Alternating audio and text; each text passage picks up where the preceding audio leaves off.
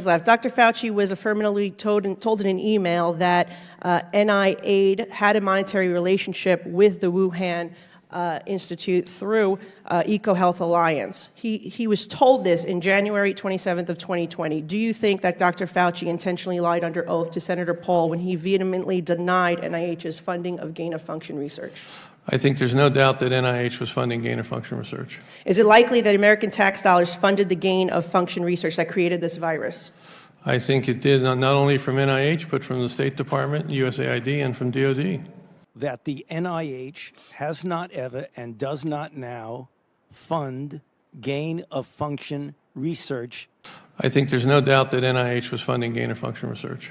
that the NIH has not ever and does not now fund gain of function research, I think there's no doubt that NIH was funding gain of function research. has not ever and does not now fund gain of function research, I think there's no doubt that NIH was funding gain of function research. Is it likely that American tax dollars funded the gain-of-function research that created this virus? I think it did not not only from NIH, but from the State Department, USAID, and from DOD.